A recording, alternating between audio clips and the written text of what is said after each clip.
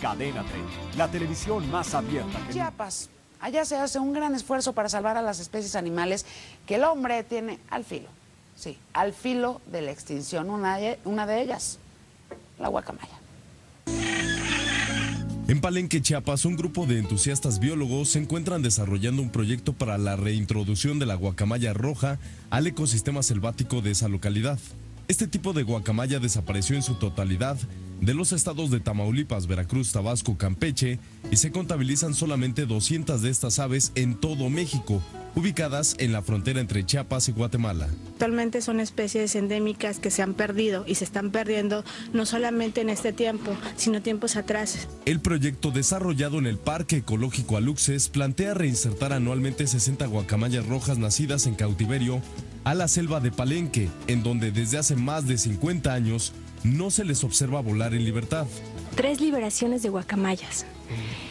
Y las guacamayas todavía este, circulan aquí por el parque, y, pero ya, ya son libres. Esta ave se encuentra reconocida en peligro de extinción por la norma oficial mexicana número 59, debido a la destrucción del 93% de su hábitat, que son selvas tropicales, además de la depredación humana, ya que en el mercado internacional una guacamaya oscila entre los 1.500 y 2.700 dólares americanos, según datos de la Profepa. Estamos contentos porque estamos, ya llevamos más de un año este, trabajando en el vivero con especies forestales para, para que las guacamayas que se están liberando y los monos que también se están liberando eh, puedan tener refugio y alimento.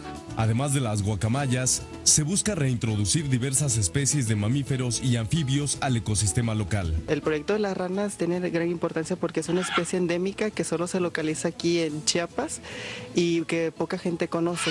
Y lo que el proyecto quiere es este, reproducirla y liberarla. Estos proyectos están fondeados principalmente por donativos de las personas que visitan el parque para conocer animales típicos de la región que se encuentran a lo largo de un recorrido por varias hectáreas de la selva.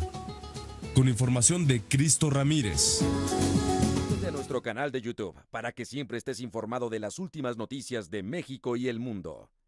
Empieza ahora mismo dándole clic a estos videos.